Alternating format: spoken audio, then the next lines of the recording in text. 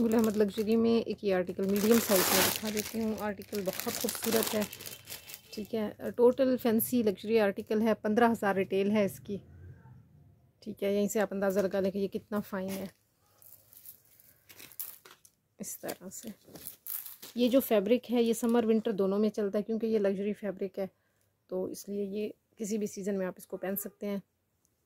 आप इसका fabric check करें पहले। ये है, इसको कहते हैं बनारसी कहते हैं इस तरह से कोई। ठीक है, ये वो वाली कलेक्शन है।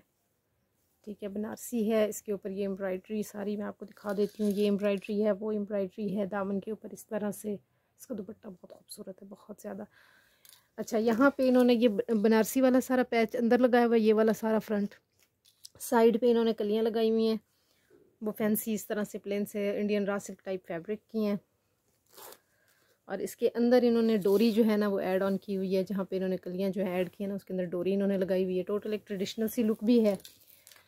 मीडियम साइज़ है ये। ठीक है, इसकी मेज़रमेंट भी बताती हूँ आपको। इसकी बैक साइड पहले दिखा दूँ, इसकी बैक साइड चेक करें।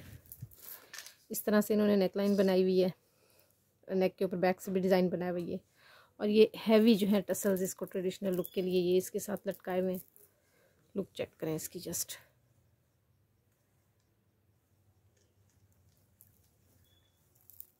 ये इसकी बैक साइड है।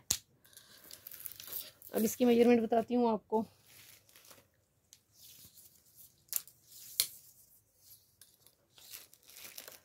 थर्टी नाइन लेंथ आ रही है इसकी।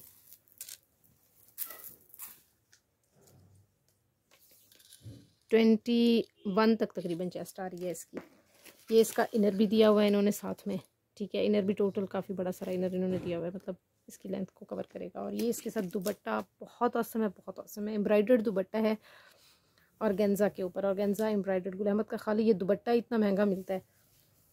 ये वो दुबट्टे हैं जो मतलब आमतौर पर इसको आप फ़ंक्शंस माइयों मेहंदी वगैरह या उस तरह से वो जो यूज़ होते हैं ना उसमें भी आप इसको बड़ी आसानी से यूज़ कर सकते हैं। इस तरह से हैवी एम्ब्रॉयडर्ड दुबट्टा है ये। लुक चेक करें आप इसकी। Awesome, बहुत खूबसूरत है। इतनी एम्ब्रॉयड्री है ना इसके ऊपर, ये सारी। ये जरी वर्क की है एम्ब्रॉयड्री बहुत फ़ाइन है, करीब से देखें। इसकी बहुत खूबसूरत लुक आनी है, ठीक है। ये पंद्रह हज़ार रिटेल थी मेरे पास, ये पाँच हज़ार दो सौ रुपये में अभी की प्राइस में।